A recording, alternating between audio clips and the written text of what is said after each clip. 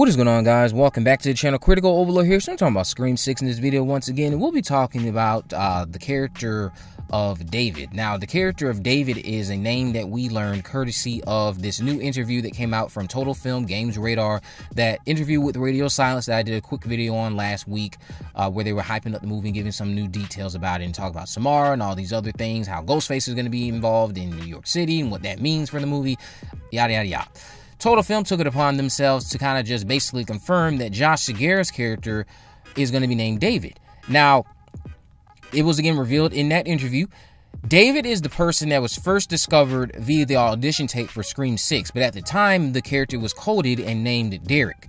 Now, that's a clear nod to the romance between Derek and Sidney in Scream 2 and the upcoming romance, most likely between David and Sam in uh, Scream 6. I've also seen people shout out to you, Craving Something Scary. I think I saw a tweet from you who pointed out the fact that this could be a way to kind of pay respect to David Arquette in a lot of ways. That could be something they're doing too, uh, possibly. Now, David most definitely is going to be Sam's Derek this time around. And unlike Derek, I feel as though he'll be played up as a major red herring. And that's not to say that David, that's not to say that Derek himself wasn't played up in that same fashion or made suspicious in Scream 2 because he was. But what I mean is that Josh's facial expressions and how David carries himself and just how Josh's performance is done might make him more of a red flag than ever compared to Derek. Uh, especially going off the way people are making these assumptions going off of the fact that he's wearing certain color patterns that we've seen previous killers wear. His demeanor on that teaser or on the subway makes him seem like he is up to no good and very suspicious. Meanwhile everyone else does not seem that way.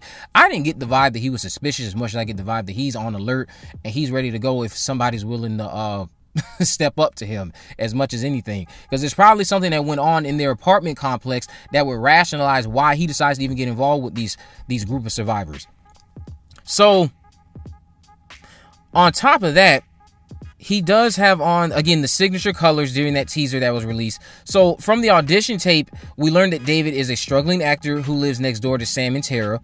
He's interested in dating Sam, but there might be some pushback there. The initial pushback either leads to them hooking up or something goes down in their apartment complex because again, I don't know why a neighbor just ends up in the core group unless Ghostface forces them to join via some type of tragic event that happens in the complex. Now, I want to address the idea of how he could be Ghostface even though I don't see it happen happening. It's most likely not going to happen. The chances of that happening seem to be very slim. Um, how could Josh Segarra's character be Ghostface? In my mind, I'm I'm imagining this. This is just a random thought. After the events of Scream 5, you could have had an uproar on the Stab subreddit where other crazy fans like Amber and Richie banded together to continue their legacy and, and, and finish the work they started where they can get that soul desired movie that they think is superior to this terrible Stab 8 that came out.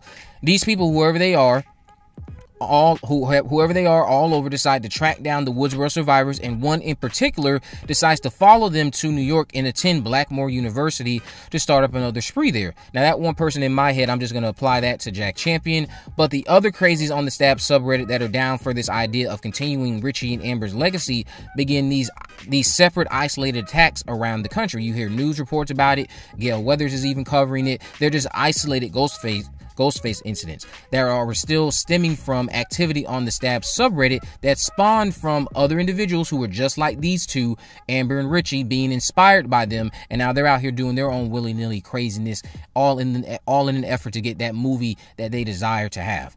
So, where does David's character factor into this? Well, me, I would apply David being someone who has lived in New York for a while, and the news about the events of Scream 5 when they first broke could have first reached his life via a, via a viewing of Gale's morning show. And then an image of Sam appearing could have caused him to have like some thoughts about oh this this chick looks familiar so he does some digging on Sam and during this digging he finds out that Sam A of course is Billy's daughter because that's being reported in the news now and then, most importantly, here's the other twist. Sam was someone who, during her juvenile years, was involved in an incident that took the life of a relative of David. That would be the biggest thing. We know we've had this talk about stuff that happened when she was going through her her bad girl phase after learning about her connection to Billy and how she got her hands on every single pill and all that stuff she could get on to cope with it and how there was this tension between her and Judy Hicks because of her delinquency or her juvenile ways at one point in the town of Woodsboro. So maybe one of these incidents could have killed somebody that was very close to the character that I give applying to David. David taking advantage of an opportunity when Sam and Tara move into New York takes advantage of these random attacks that are going on around the country and the incidents going on at Blackmore and starts up his own separate thing, all in an effort to get revenge on Sam for taking her relative away or for taking his relative away from him all those years ago when she was going through her bad girl phase. This would just be a simple thing where somebody died and it could have been avoided if Sam hadn't been acting a certain way, but because she was acting a certain way, this individual died. This could be David's brother, David's something else. Uh, I'll just say brother just to play the safe route. And then that's how that could go. Now, the only red, the only missing piece here is, of course, a how did David gain access to past criminal evidence of, from Ghostface Sprees? What do they intend to do with it, other than, of course, frame Sam? That's most likely what it is for. The past Ghostface evidence would be to frame Sam. I don't see what else it would be for, but it's just mostly how did he gain access to it? Will they even explain that? That's the only thing I haven't thought too far along the far down the rabbit hole on, but that's where I'm that's where I was leaning at when it comes to how I could see them hyping up David being a killer in Scream 6 and what route they could potentially take. Obviously, they could take a, a plethora of different routes to make David the killer in Scream 6. But in my mind, I could easily see them going down the rabbit hole of saying that David is the relative of someone who passed away during a juvenile incident that Sam was involved in during her bad girl years. And now that's all coming back to haunt her all these years later. And she doesn't even know it. So he, he decides to pretend to be interested in her. I mean, really, realistically, they can make it even a little bit more diabolical or diabolic. He is interested in her, but he also wants to kill her.